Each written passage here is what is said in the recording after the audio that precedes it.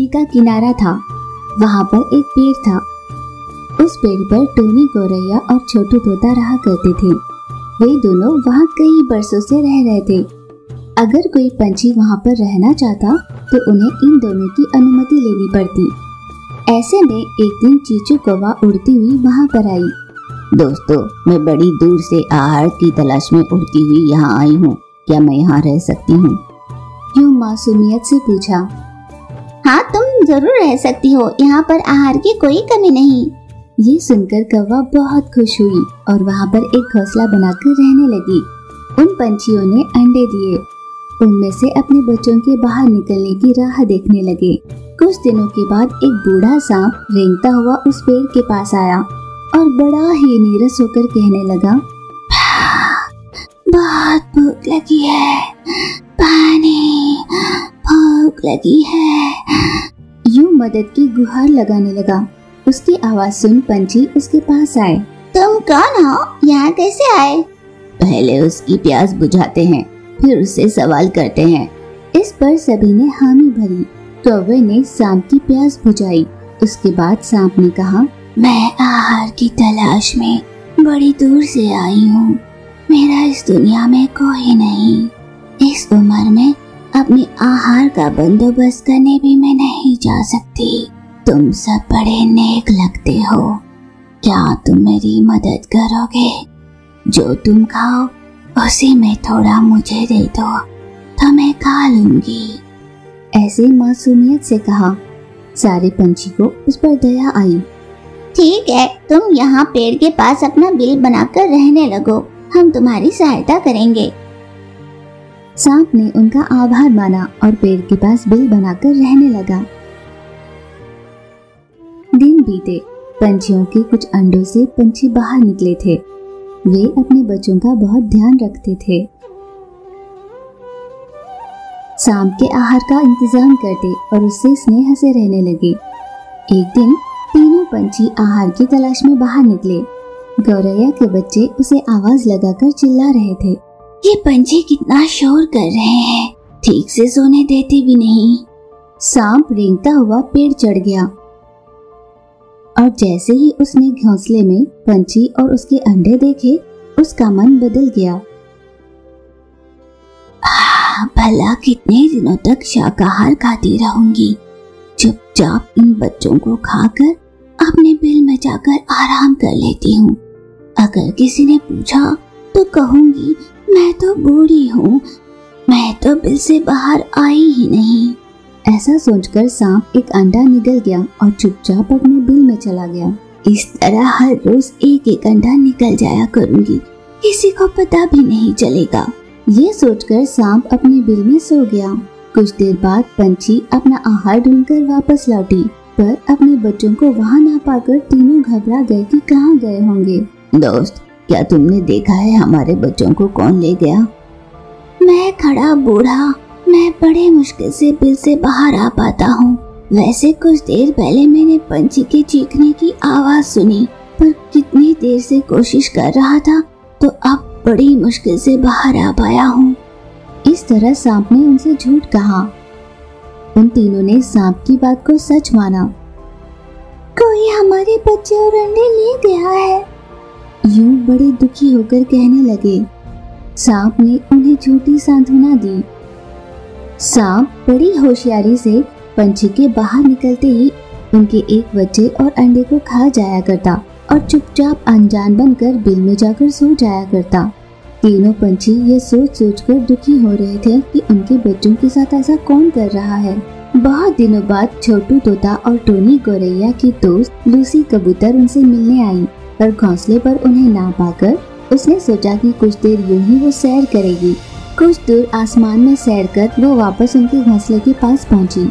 तो अचानक उसने देखा कि एक सांप उनके दोस्तों के घोंसले के पास आकर एक बच्चा और अंडे को खाया जा रहा था। ये सब क्या कर रहा है? ये बात मुझे अपने दोस्तों को बतानी होगी। कुछ समय बाद टोनी, गोरैया और छोटू तोता वापस लौटे। अपने दोस्त लूसी को वहाँ पाकर दोनों खुश हुए। अरे लूसी, तुम कैसी हो? कब आई? सब ठीक है ना? मैं तो ठीक हूँ, लेकिन मैं तुमसे कुछ कहना चाहती हूँ। वो नीचे जो सांप है ना, वो तुम्हारे बच्चों को खा रहा है। उसकी बातें सुन तोता ने कहा, क्या तुम यहाँ पर जहर फैलाने आई हो? वो एक बूढ़ा सांप है, भला वो रेंगता हुआ पेड़ पर कैसे चढ़ेगा? हमारे आहार लाकर देने पर ही वो खा पाता है। ऐसे में भला वो पेड़ चढ़कर बच्चों को कैसे खाएगा? दोस्तों, झूठ बोलकर मुझे कुछ मिलने वाला नहीं है। मेरी बात मानो तो ठीक, वरना तुम्हारी मर्ज़ी। ये कहकर कबूतर वहाँ से उड़ चली। दोनों उसी विषय में सोचने लगते हैं। कुछ देर बाद वहाँ पर कौवा आई। उन दोनों ने कवे को सारी बात बताई। अपरिचित के लिए कोई ऐसा कुछ कहे, ये संभव नहीं। मुझे भी उस सांप पर कुछ शक सा हो रहा है। अगर उसकी बात में थोड़ी भी सच्चाई है तो इस सांप को हमें सबक सिखाना पड़ेगा। फिर तीनों ने उस सांप को रंगे हाथ पकड़ने की तय कर ली। अगले दिन अपने बच्चों और अंडों को छुपाकर वे तीनों वहाँ से निकल गए। बहुत समय के बाद पक्षियाँ वहाँ से चले गए। ये जानकर सांप रेंगता हुआ पेड़ चढ़ गया। पेड़ पर पंछी और अंडे ना पाकर, ये क्या हुआ होगा? आज न अंडे हैं न बच्चे। ये यहाँ पर यूँ बात कर रही थी। अपने साजिश के चलते वे तीनों दूसरे पेट से उसे देख रहे थे। देखा? अगर इसी ने अपने बच्चों को मार खाया होगा तो चील के हाथों इसे मरवा देंगे। और यही सोचकर वे तीनों एक चील के पास गए। उसे उन्होंने सारी बात बताई और अपने साथ चील को ले आए। चील अपनी चोंच से उस सांप पर वार करने लगी। उसे चुभाने लगी।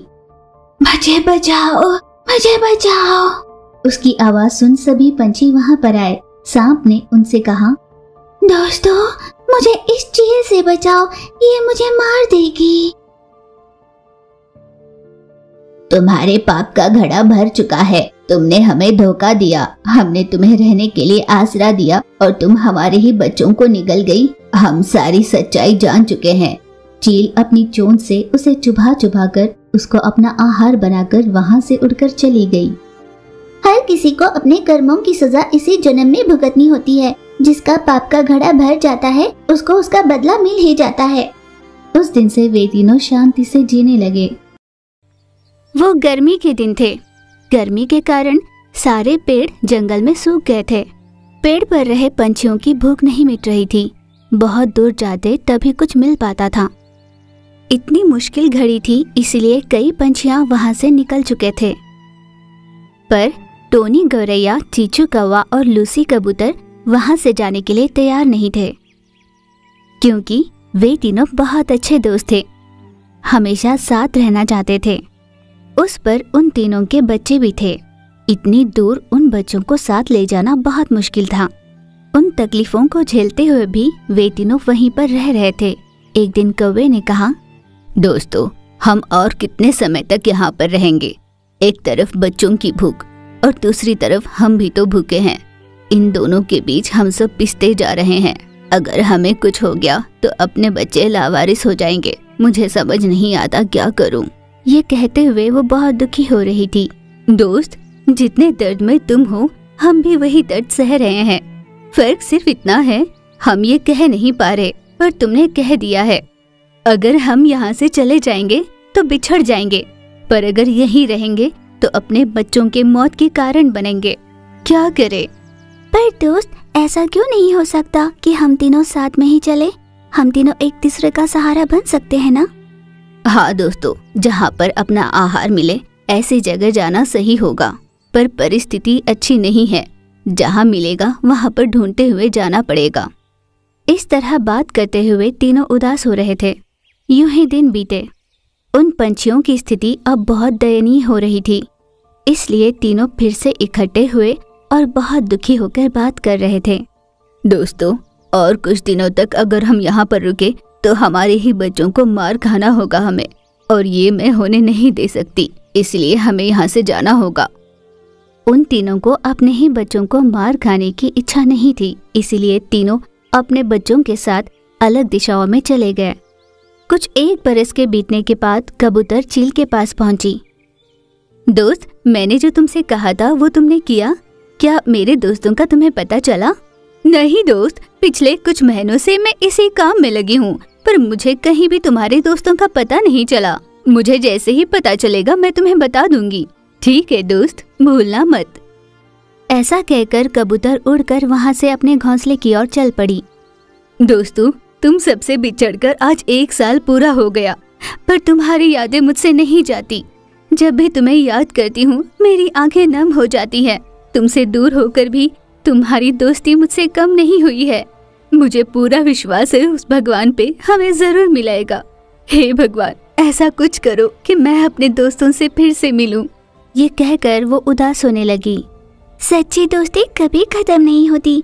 भगवान हमें ज़रूर मिलाएँगे।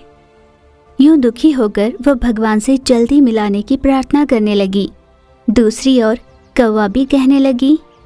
दोस्तों मैं भगवान से प्रार्थना करूँगी कि तुम दोनों जहाँ भी हो हमेशा खुश रहो। और मुझे विश्वास है हम तीनों ज़रूर मिलेंगे। भगवान से प्रार्थना करती हूँ वो दिन जल्दी आए। इस तरह वे तीनों अपनी अपनी जगह उदास हो रहे थे। कुछ दिनों बाद चील उड़ती हुई कबूतर के पास आई।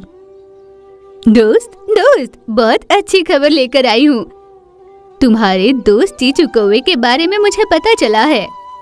कबूतर के खुशी का ठिकाना नहीं था। उसने कहा क्या कहा? तुमने सच में बहुत अच्छी खबर लाई है।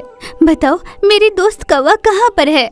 ऐसे बताऊँगी तो पता नहीं चलेगा। तुम मेरे साथ चलो बताती हूँ। चील के ऐसा कहने पर दोनों उड़ती हुई कौवा के पास निकली। कौवे ने जैसे ही कबूतर को देखा वो बहुत खुश हुई। कैसी हो मेरी दोस्त? इस पूरे बरस में एक भी ऐसा दिन नहीं था जब मैंने तुम्हें और टोनी को याद न किया हो। तुम कैसी हो? तुम्हारे बच्चे कैसे हैं? मैं तुम्हें क्या बताऊँ दोस्त?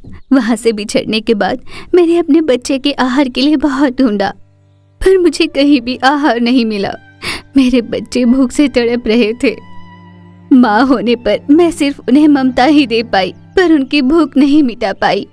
हालात इतने बिगड़ गए कि मेरे दोनों ही बच्चे भूख से मर गए। मैं बहुत फूट फूट कर रोई।